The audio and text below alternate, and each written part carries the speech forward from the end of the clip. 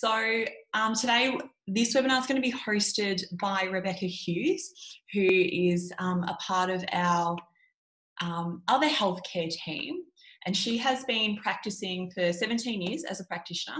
And we're also going to be joined by Char Harvey, who is um, a health coach from our other healthcare team as well. So I'm going to kick us off with a question that someone has sent in through the week. Um, so, Rebecca, this one's going to be straight over to you. So the question is, um, I'm immune compromised. What can I do to protect myself um, during this time?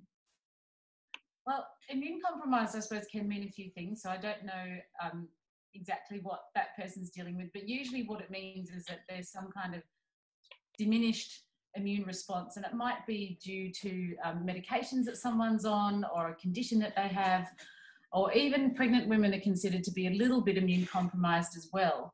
So, you know, Jade talked last week about the things that you can do for immune function, which are to fuel the immune system with the things that it needs, to um, stimulate the immune system, to borrow immunity, or to be directly cidal or killing of, of what you know what you're dealing with. So, I would say for people who are immune compromised that they really need to make sure that they do have the fuel that they need to make um, to, to, generate an immune response. So that might be through, so dietary factors might be adequate protein, for example, because your immune system actually needs protein to generate all of the the white blood cells and all of the entire you know inflammatory response that it launches against particular bacteria and viruses but it also needs really essential nutrients like vitamin c zinc and d so that's part of fuel, fueling your immune system.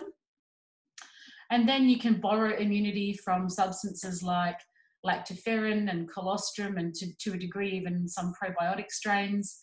And you can stimulate it. I, I think being immune compromised, it would depend on the degree of how immune compromised someone is, because stimulating someone in a depleted state can be um, uh, not harmful, but might overstimulate their entire system.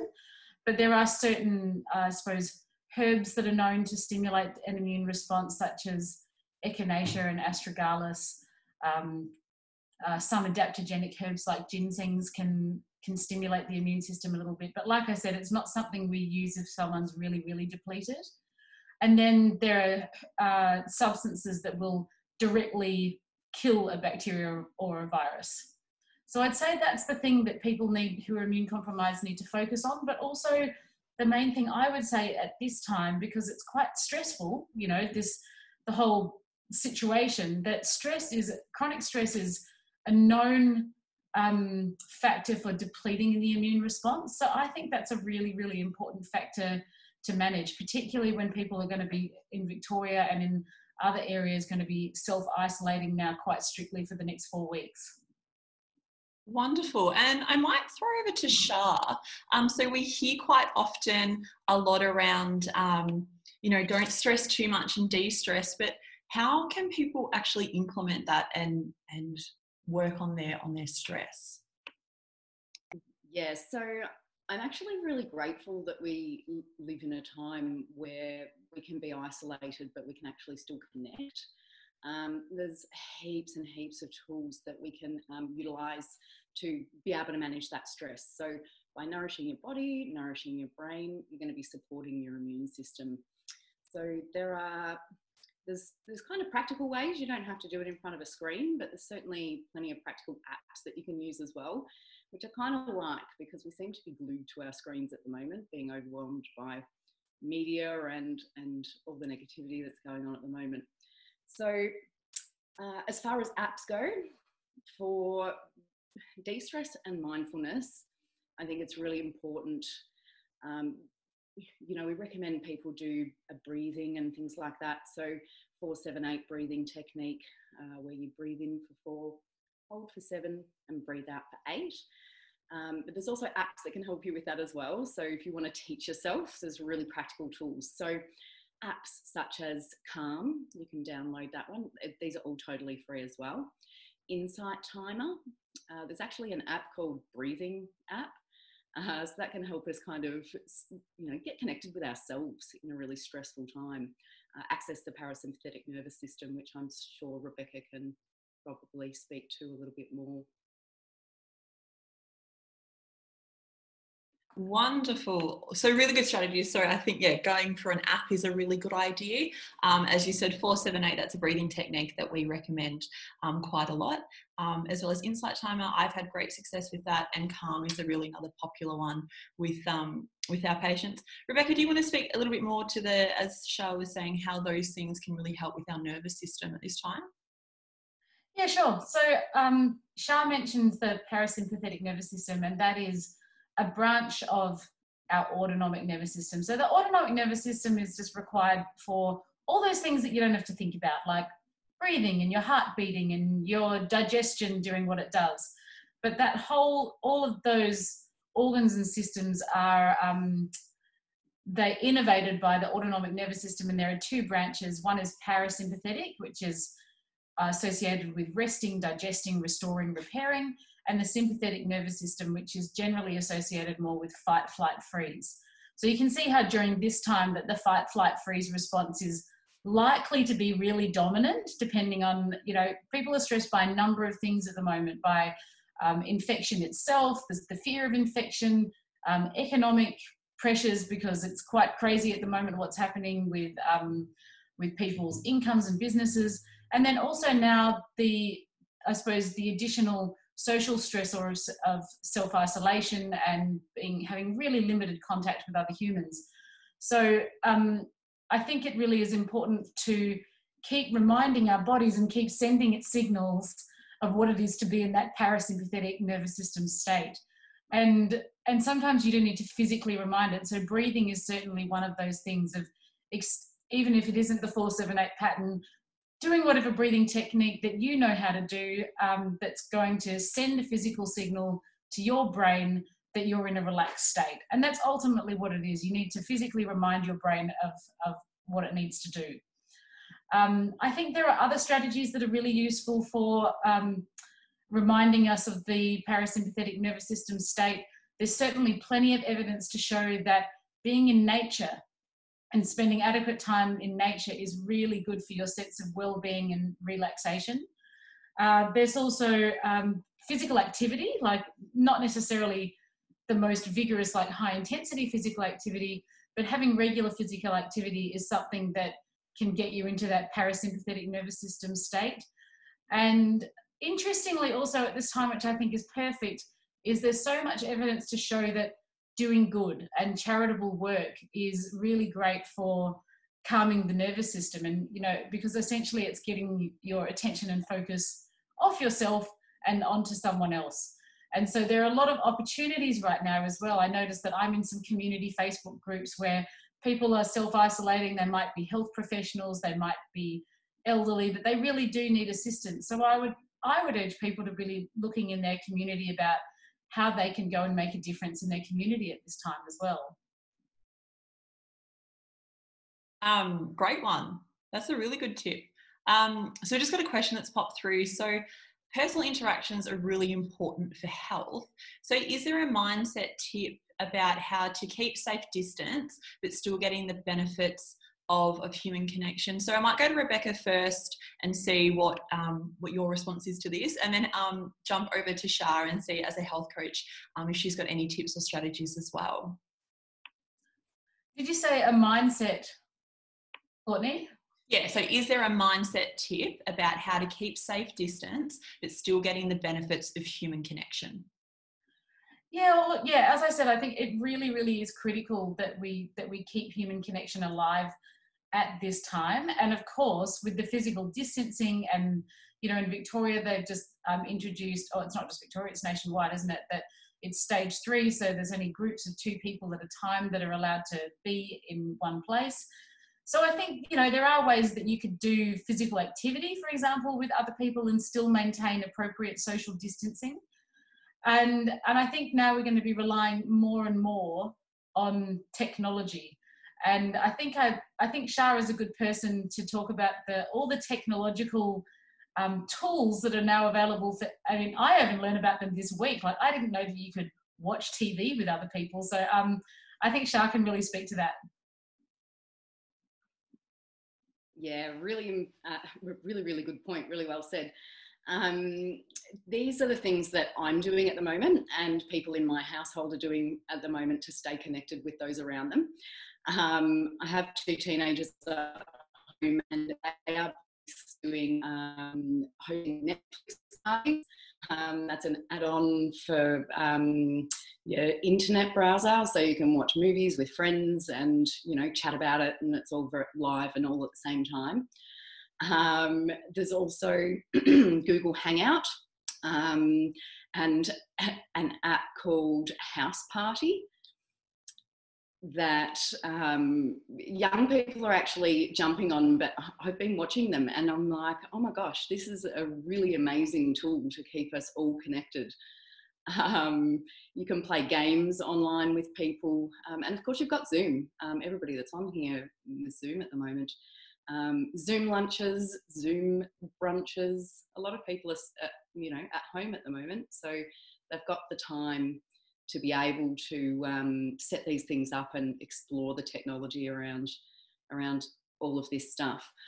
I was talking to B yesterday, and she said she'd had a dance party in her kitchen. Um, she'd done an exercise program online, uh, and these are all things that I think as humans, we crave that interaction. It's just how we are. Um, and, and we need to kind of nurture that so that we don't feel too isolated. Yeah, I definitely agree. I um, hosted a Zoom platter chatter party on Friday night with my closest friends, and we're doing that um, weekly. It's my birthday in a couple of weeks, so I've had to move my party onto Zoom. But I think for those that maybe aren't tech savvy or don't have access to that, some really simple ways as well to connect is just, it sounds so simple, but just when you're passing someone, if you are out doing the groceries or maybe you are going for a walk, giving a smile to people, saying good morning, saying hello. I did my groceries a couple of weeks ago um, when everything first started to happen. And I was like loving the supermarket. It was very quiet, it was very chill. And I was just smiling at people as I walked past. And a lot of people did a double take because they didn't expect it.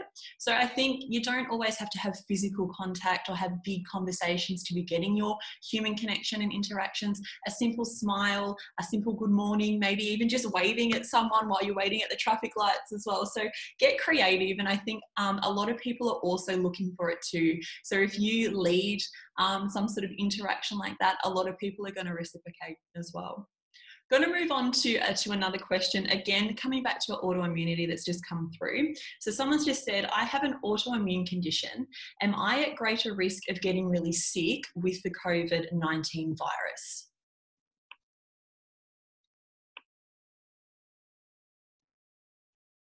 Shall I stop playing with the controls? Oh, I can't hear. Can you hear me, Courtney? Sorry, I can't hear you. Yep. So if you just um, answer that question, do you want me to repeat it? Yeah. No, no, that's okay. I've got it now. Um, I think people with um, autoimmune diseases, so if, if you don't know what an autoimmune condition is, it's where the immune system becomes a little hyperstimulated and, and a little bit uh, aberrant, I suppose, in that it starts to recognize the human body's own tissue as something that's threatening. And that can show up in many different parts of the body, unfortunately. So, for example, with rheumatoid arthritis, it affects the synovial capsule around the joint. Um, it can affect people's gut in terms of uh, chronic Crohn's disease and ulcerative colitis. It shows up as lupus, Hashimoto's thyroid disease. There, there are a bunch of different presentations. And depending on the severity, I suppose, of the autoimmune condition, these people may or may not be on uh, immune suppressing medications. Some people are, some people are not. Um, but I would say if you are on an immune suppressing medication, that potentially you are at a slightly greater risk than other members in society because those medications are designed to control the inflammation in your body, and part of that can involve suppressing that immune response. So I would say for those people that it's really important, as I spoke to before, about um, fueling the immune system with the with the with the building blocks that it needs so that when there's an actual threat of a virus or a bacteria that it can respond appropriately to that threat and i would also say that also going i know i keep talking about it but stress is a really really big trigger also for people with autoimmune conditions in fact it's probably one of the the primary exacerbating factors. And so for people with autoimmune conditions, I think now it's particularly important to be on top of managing that as a trigger and and I guess that's easy to say, but in terms of some of the, the strategies that we've spoken about today, in staying connected with people, staying connected with nature, and using mindfulness practices will be really, really valuable skills for, for you to cultivate at this time. And um, just as a little segue, not necessarily related to people with autoimmune conditions, but I think also at this time, I noticed that, you know, when humans are stressed, they generally want to soothe, soothe themselves, like make themselves feel better. And what we tend to go to are those things, you know, the things that make us personally feel better. And that'll be different for every single person. But um, usually, what I find some of the typical coping strategies, because I've seen it over years in practice, is um, eating more than usual or eating foods that usually that perhaps you shouldn't be eating too much of. So comforting foods that contain a lot of sugar or a lot of fat. Uh, alcohol um, can be a really common thing used for self-soothing. And if you have had i suppose issues with substances or do have issues with substances now could now might be a time when it might be more compelling to go back to old habits. Um, and maybe you know watching lots of TV and things like that. So and and I guess now that we're we're asked to being spend asked to spend more time indoors and more time and less time with other people, that it could be easy to move to these old habits and vices to self-soothe. And I think that's why it's really important to cultivate these other strategies so that you know we're less inclined to to use those other to use those other less helpful or less healthy strategies to cope. Yeah, for sure. Char, do you just want to speak to um, yeah that idea of people falling back into their their bad habits, um, coping mechanism, and particularly around like um, eating? I know a lot of people are eating because they're bored, they're emotionally eating. So how can they maintain that healthy eating to look after their immune system, as well as just generally looking out for their their vices? Yeah, so this is where mindfulness and mindset really come into play. Um, when we're really stressed, it's uh, usual for us to want to comfort ourselves, just like Rebecca was saying. Um, and mindfulness and mindset can actually help us be in the present moment a little bit more. So, noticing those feelings of why am I eating a block of chocolate right now? Why do I want to eat an entire bag of chips? Um, you know, bringing us to the moment will make us recognize that we're doing these things. So there's a couple of things that you can do to help that. Um, one of my favorites, uh, and this is kind of everywhere at the moment, is uh, journaling. So you can have something as simple as a piece of paper and a pen to be able to do that. Um, and gratitude journaling is something that can be really, really helpful for people to um, get into a mindset that's not up here. Um, it can kind of bring us down and aware of our surroundings, um, particularly with all of the negative media and stuff around at the moment. So, what that looks like is well, what it could look like is uh, just writing down three things when you wake up in the morning that you're grateful for. Um, and then you know, that you yourself um, there are a couple of apps that can help you with that as well. So if you need help or if you need prompts, um, some of these apps will actually message you. You can set a time and, and go, right, okay, these, these things can help hold you accountable um, if you don't have a health coach. So uh, these apps are called Gratitude, um, is a really good one. And I've just stumbled across a new one called Happier, and it's kind of like a social media um, it's like Facebook for happy people, I think. Um, and I'm just exploring that at the moment. So I'd be really interested to know um, if anybody downloads that and, and, what they think about it. Uh, it's also nurturing that connection with other people as well at the same time, um, whilst kind of, you know, keeping us focused and, and thinking about the good things in life. Awesome. For those that are maybe um, taking this opportunity to be do a bit of a digital detox and don't want to go for an app, um, what would you um, give like as three prompts to maybe for journaling or for gratitude? Yes, so it's really helpful when you're doing any uh, like any kind of change to anchor that change with something that you do really regularly. So for breathing, for instance, um, we like to tell people to do that when they go to the toilet. So um, if you come in clinic, you'll see on the back of the toilet door the 478 breathing technique. And for me, since I've been working at the clinic, it means that whenever I go to the toilet, wherever I am, that is just something that I do. Um, so it's turned into a habit that I don't really have to think about anymore. I think we've been afforded a bit of an opportunity here with all of this working from home stuff. Um, it's taken a lot of travel out of our days, so we can't use the excuse of not having the time to actually do it anymore. We can we can kind of go, okay, well maybe I'll give this a go and actually see how it fits in um, with my life. Uh, you could do that with gratitude um, with your sleep. So if you wanted to bookend your day, so everybody's sleeping, everybody's waking up, everybody's going to bed, and if you can wake up and do some journaling, um, that would be great. When you're going to bed, you can be doing the same thing. Um, also around eating time. So if you're eating with your family, sharing the gratitude with the fam with your family as well um, is going to help everybody stay a little bit happier when they're cooped up together. Fantastic. And for those that um, want um, some some prompts or a little bit more information on on journaling in particular, we do have an Instagram post as well as a Facebook post um, explaining it. If it's a new concept for you or something that you want to get back into, um, there's definitely those resources on our Facebook and on our Instagram. I'm going to start to wrap up the webinar with two questions. So the first one is from Dorothy, and she would like to know if I was to get COVID 19 with a sore throat and all those other symptoms, but don't need to go to hospital, what would you suggest to help me cope with those symptoms? Um, I, I suppose that that question has two aspects to it because I think if you believe that you have COVID 19 symptoms and you fit the criteria, you probably should. It's what's responsible is to go and get tested. Um, and I suppose ultimately the, the doctors and nurses at the hospital will triage your situation and determine whether you need testing.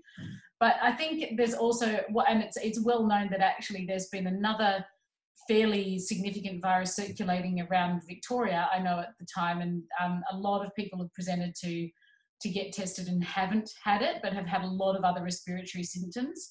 So that's, I suppose, going back to managing the immune system and in terms of direct um, at home remedies, certainly garlic is known to be a potent antiviral. And given that we're spending less time with other humans at the moment, you can consume as much garlic as you like, possibly without offending lots of other people. Um, and uh, there's, if you're growing herbs in your garden, I could suggest things like um, thyme as a herb. You can also get it from the supermarket. Uh, has some antibacterial and antiviral qualities. It's also particularly good for chesty coughs. Um, ginger, especially if it's raw and you can grate it and then simmer it in some hot water, that's fantastic for warming and um, has some anti, some potent anti-inflammatory action. So I think you know there's a lot of things that can be used from around the house in terms of garlic, thyme, uh, sage, ginger, and then making sure that you're having foods that are really rich in vitamin C, such as um, berries, kiwi fruit, capsicum. Parsley is, in, is intensely rich in vitamin C and iron. Um, yeah, that, that would be the, the sort of home remedies that I'd be looking at. And given that there's been some beautiful days of sunshine recently, even getting out on your own and lying in the park in the sun, I think, and soaking up the rays would be a really good thing to do as well. And just on that, with all the herbs and so really great suggestions, how are we consuming them? Are we making a tea? Are we making a broth? Are we cooking with them? How can we get them into our bodies? Uh, okay, so uh, definitely making um, teas and decoctions. So what you could do is you could simmer the grate some ginger root, and simmer it in hot water for about 10 minutes. And then you could use, and then add in the fresh thyme, fresh or dried. If you, if you only have access to dried, you can use that too. Sage is also really good for sore throats. So those two herbs are quite antiseptic and antimicrobial. Throw those into the in with the hot water as well. make sure all of it's covered because when you leave it covered, the volatile constituents in those herbs can't escape. And it's often the actual, the volatile compounds in the oils of those plants that has the medicinal value. And then, and what I would recommend is actually making up a great big batch for yourself and then having about three to six cups a day of that is, is a therapeutic amount. And garlic, you can, I would suggest having garlic and you can, and, and it needs to be freshly crushed. Cooked garlic doesn't have the same amount of the active ingredient called allicin. So you need to have fresh garlic, and so you could use that. You could use that in cooking or food, but just make sure you add it as the last ingredient. That you crush it and add it into the food and have that two or three times a day as well. Wonderful. I hope that answers your question there, Dorothy. Lots of little um, teas and broths and um, the way you can use all those um, ingredients. So, our last question we're going to finish up on for today, and it's a very practical question, and I think everyone will probably be able to relate to this. Um, but we had a question come through My hands are really dry from washing them all the time and using sanitizers. What can I do for my dry hands? Well, yeah, look, I think it's really important because I noticed that, um, and this will be happening also for people who are working in situations that, for their jobs where they need to wash their hands frequently, probably more frequently than others. And when you're washing your hands all the time, doesn't matter, really matter what it's with, whether it's with soap, detergent, those, both of those substances contain molecules that is there. The whole idea of hand washing is that it's the physical and mechanical activity of combining the soap or the detergent and the water with whatever is on your skin. And the molecules that are in there attach to whatever is on your skin and remove it, whether that be bacteria, dirt, oils, food, whatever it is. Which is why um, with, with hand washing to prevent coronavirus, they're saying that the activity has to be vigorous and lengthy to actually remove anything that's on your hands. Of course, the upshot of that is that then you're removing all of those protective oils that exist on the surface of your skin, which actually are the protective barrier on your skin, not just on your hands, but everywhere. The oils that we produce in our body actually are part of our what's called our barrier function, and they they protect things from going into our body through our skin. So I think it's important that definitely to keep hand washing because it's one of the primary um, measures that we have for limiting transmission of coronavirus, but we also need to couple that with putting a protective barrier back on our skin. So regular, if you've got hand lotion or hand cream, regular moisturizing after you've been hand washing. So you'll be doing a lot of hand washing and a lot of hand moisturizing. And if you want to do something that's even more, I suppose, protective, you could directly put oils on your skin. So you can use things like olive oil or coconut oil and uh, or any kind of fat you could put that on your skin. I know for people on your hands that might not be an attractive thing to do though because you're touching yourself and touching all these other surfaces. So that might not be the most practical way to do it. But if you actually are finding that your eczema or dermatitis is being aggravated during this time with all the extra hand washing you might need to take extra measures of using something that actually is fat based to protect your skin Wonderful, great. I'm definitely um, will be making a hand oil, I think, when I get home today. So we're going to leave today's webinar there. Thank you everyone for coming and joining and, and asking all your questions and also sending through questions earlier today, uh, this week as well. That was wonderful. So um, make sure that you're signed up. We'll be doing this again next week, next Wednesday. Um, so again, feel free to send through any questions that you want to. Make sure that you are signed up to get the notifications via email um, of the webinar. Um, for further support, obviously, our current patients, please reach out to your health coaches or book in to see your practitioner. If you're not a current patient, so we usually only take on and work with new people in our six month program, but due to what's going on in the world, we have opened up our one off immune health SOS session. So, um, for those of you on Zoom, you'll be sent a link in an email um, later today. And for those of you on Facebook, the link will be popped down in the comments below. Um, all these sessions are happening via telehealth, so that either means um, like a Zoom consult like now or a phone call. Um, and make sure that you are following us on our social media. So our Instagram is at Melbourne Functional Medicine, uh, sorry, Melbourne FX Med, and our Facebook is Melbourne Functional Medicine too. So we're posting, um, like we were talking today about different tips and strategies. We've been posting those things quite regularly and have a few more things um, coming. We've got a, a, workout by our health coach B um, to get you off the couch and get you moving and the blood flowing. Um, but in the meantime, take care of yourself. Make sure you're um, maintaining all those social distancing. Um, isolating in a really good way. Not you don't have to be isolated in isolation. Make sure that you're reaching out to those people around you and reaching out to your support network as well. And make sure that you're hitting all your four pillars daily. So eating, moving, sleeping, and de-stressing. Thank you guys for joining us again, and we hope to see you all next week. Bye.